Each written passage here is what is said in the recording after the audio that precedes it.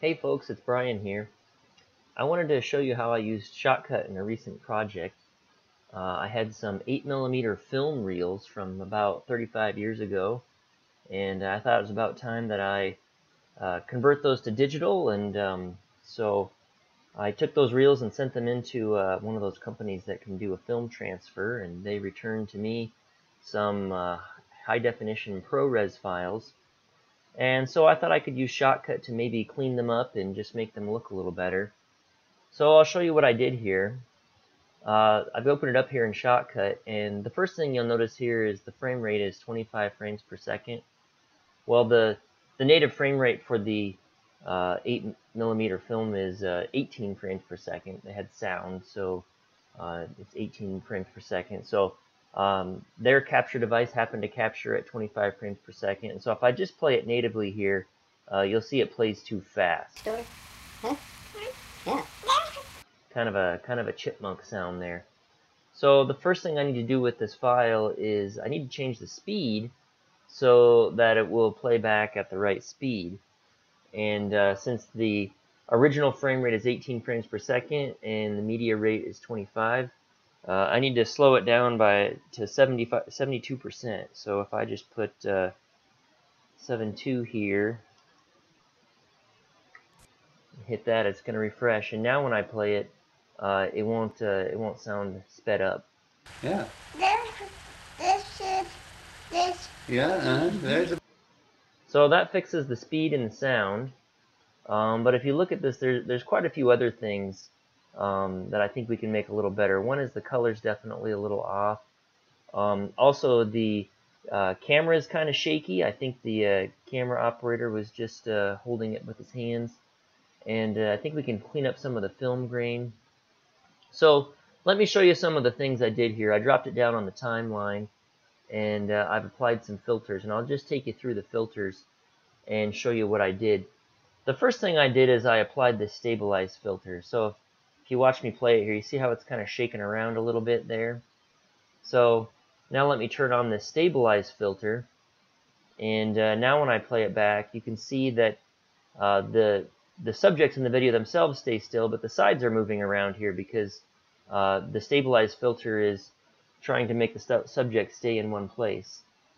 So that worked pretty good for me, but um, uh, there's still some other things that we can improve here.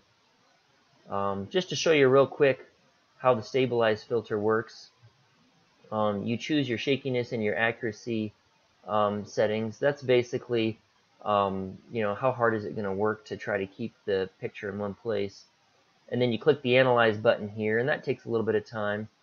And then after it's been analyzed, you can choose these other options, uh, zoom and smoothing. See, I chose just a little bit of zoom uh, just to kind of make the main part of the picture a little bit bigger.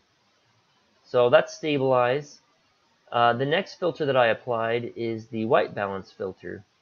And uh, you can see as I toggle here the difference. This is without looks kind of orange or reddish. Uh, with the white balance filter, it looks a little bit more natural. And uh, I really didn't try to tweak this very hard. All I did was uh, just took the eyedropper and I thought, well, uh, this shirt here is probably white, so I chose that as the white color. And I think it did pretty good.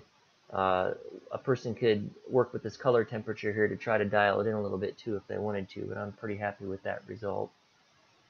Uh, the next filter that I did is this reduce noise filter. And uh, the way this filter works is um, for each frame, uh, it creates a copy of the frame and performs a Gaussian blur on the frame. And then it goes pixel by pixel and it decides, should I use the original pixel or should I use the blurred pixel? And um, so the threshold that it uses to decide is this is this threshold here. If the uh, if the blurred pixel is more than a value of 4 away, then it's going to use uh, the original pixel. The idea there is that um, that way in flat areas where the pixels are pretty close to the same, um, they'll get blurred out. But then when there's edges or um, you know any detail, it'll still use the original pixels. So um, I'll toggle this on. You can kind of see just a little bit of the noise just kind of moves into the background a bit. You know, you can't really get rid of all the graininess, but if you kind of look over here in the background, it just takes some of that uh, uh, that noise and just kind of softens it up a little bit. I think this looks a little bit better uh, than without it. So I'm going to go with that. And then the last uh, filter that I applied here is the uh, single pass audio normalize filter. Um, I just do that um, just to make sure that the audio levels are going to be the same on all my clips. Uh, you can see when I play it back here, um, it's doing its thing. It's adjusting the gain up and down a little bit just to just to equalize it. Um, so I'm pretty happy with that. Um, I like the results. The only thing that's not very nice now is because of the stabilize filter, when you're watching it, you see this um, these black sides move back and forth, and that's kind of distracting. So I did a little trick here, and I'll, I'll show you how I did it. Um, basically what I did was I added some other video tracks, two other video tracks, and I laid down just a black color uh, clip on there. And then what I did is on this color clip, I applied a size and position filter to move it over to the side. So you can see that it's putting this color only over here on the right side, basically creating a, a bar on the side, a pillar bar. And uh, then on this other track, I did the same thing um, right over here. And uh, I tried to get the size of the bar just right so that it's going to hide this um, film uh, sprocket hole here so that that's not visible anymore. Um, so if I just unhide these two tracks, it's going to um, apply the black bars on each side, and you see how it's going to hide that uh, that leader there. And um, so now if I play back,